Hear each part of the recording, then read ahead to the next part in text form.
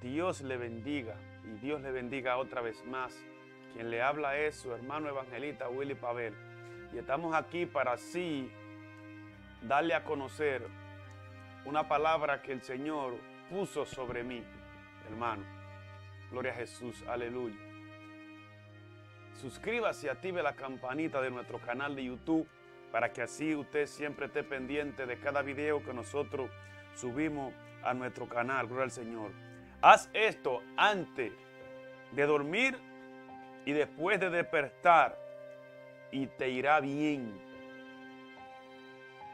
Te irá bien porque el Señor tratará contigo. El tema de este video es, haz esto antes de dormir y después de despertar y te irá bien. Te vengo a dar la clave para que te vaya bien todos los días de tu vida hasta el día que el Señor decida que usted parta de esta tierra, hermano. Hay muchas personas que dicen, pero ¿por qué me va tan mal? ¿Por qué nada me funciona? Hermano, es que tenemos que confiar en Dios. Miren cómo dice la palabra del Señor en, en Salmo capítulo 4, verso 8. Esta es una oración, hermano, de, de, esto es de David. Salmo de David dice, en paz me acostaré y asimismo dormiré, porque tú, porque solo tú, Jehová, me hace vivir confiado. La confianza, hermano. La confianza, la confianza. Míreme, la clave de todo, hermano, es confiar en Dios. Muchas veces los problemas nos quieren ahogar eh, eh, en nuestra vida. Pero cuando confiamos en el Señor, hermano, Dios, hermano, va a trabajar a nuestro favor. Árame bien, ¿cómo nosotros podemos confiar en el Señor y cómo el Señor puede solucionar nuestro problema, tomar dominio y control de todo ello? Nosotros acercarnos a Él. Porque usted no puede confiar en, algo, en alguien que usted no conoce. Entonces, cuando usted se acerca a Dios, que ve, que, que conoce la omnipotencia de Dios, que conoce de que Dios es un Dios todopoderoso, que conoce los atributos de Dios, que conoce, hermano, ese poder eh, eh, indetenible que tiene Dios. Entonces usted confía en Él, hermano. Pero ¿cómo? En primer lugar, hay personas que andan indefensos en las calles. Hay personas, hermanos, que andan, eh, que son blancos fácil de Satanás. ¿Por qué? Porque no se presentan a Dios. Por eso el tema de este video es, haz esto antes de dormir y después de despertar. ¿Qué es lo que tú vas a hacer antes de dormir y después de despertar? Para que te vaya bien. Antes de dormir, encomiéndese a Dios. Encomiéndese a Dios. Encomiéndese a Dios, hermano. Antes de dormir, usted toda la noche encomiéndese a Dios. Usted le puede decir antes de acostarse, Padre, te doy gracias por permitirme este día aquí pisando sobre la faz de la tierra. Y eso agrada al Señor cuando usted le da gracias. Orar, orar, orar antes de dormir, hermano. Nunca, hermano, deje de presentarse ante Dios en la noche. Siempre preséntese a Dios. Siempre preséntese a Dios. Que nunca falte eso en su vida. Hágame bien. Y después de despertar por la mañana, también encomiéndele a Dios el nuevo día. Para que el resto del día le vaya bien. Y si el diablo tiene algún plan con usted, alguna agenda, hermano, inmediatamente el Espíritu Santo se la tumba. ¿Por qué? Porque usted es una persona que pertenece a Dios. Porque usted encomendó a Dios su vida. Cuando usted, hermano, antes de acostarse, se presenta a Dios y después cuando usted se levanta por la mañana se presenta a Dios, hermano. Esto es algo, usted, usted vivirá en victoria. El que hace esto, hermano, vive en victoria. ¿Por qué? Porque todas las cosas malas se alejan de su vida.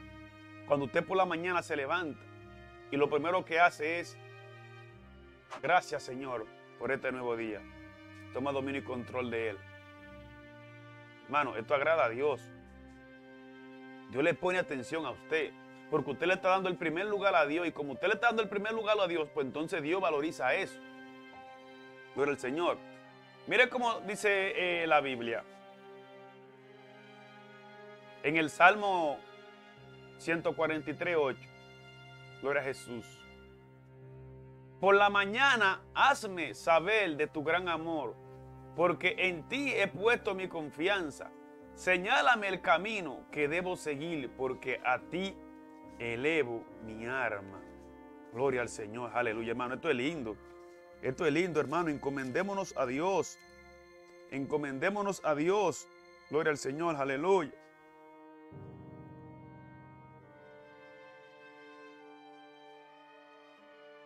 Encomendémonos a Dios para que Dios haga cosas grandes con cada uno de nosotros. Gloria a Jesús. Aleluya, bendito sea el poderoso nombre de Jesús. Pero, ¿qué usted me dirá a mí entonces del Salmo 37, 5? Salmo 37, 5, hermano. Gloria al Señor. Donde también, hermano, son los salmos de David. Mire, mire, mire lo que dice Salmo 37, 5 al 6. Encomienda al Señor tu camino, confía en Él y Él actuará. Hará que tu justicia resplandezca como el alba, tu justa causa como el sol de mediodía, hermano. El gran problema de nosotros es que no queremos presentarnos a Dios como lo hacía Elías, como lo hicieron los grandes hombres de Dios que siempre, hermano, tenían una conexión con Dios, siempre se presentaban a Dios. Es un grave error cuando no nos presentamos a Dios.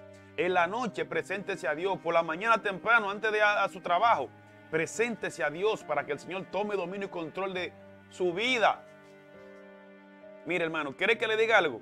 Cuando usted se presenta a Dios, su futuro no es incierto. Su futuro no es incierto. Como hay mucha gente que el futuro de ellos, claro que es incierto, porque no saben, no tienen brújula, no hay parábola, no hay un destino. Pero cuando usted, hermano, encomienda a Dios su día, usted, hermano, si verdaderamente tiene un destino profético que Dios le va a trazar, un destino de victoria, un destino de triunfo, un destino, hermano, de bendición. Mire cómo dice Proverbio 16:3. Pon en manos del Señor todas tus obras y tus proyectos se cumplirán se cumplirán, hermano. Preséntese a Dios en la noche y preséntese a Dios por la mañana, hermano. Y usted todo le irá bien. Le irá bien porque le irá bien. Y después que usted, hermano, aleluya, se presente a Dios siempre. Hermano, que usted, hermano, siempre, cuando el Señor vaya a pasar la lista, usted siempre esté presente. Hermano, Dios trabajará a tu favor. El Espíritu Santo no se apartará de ti. Te irá bien.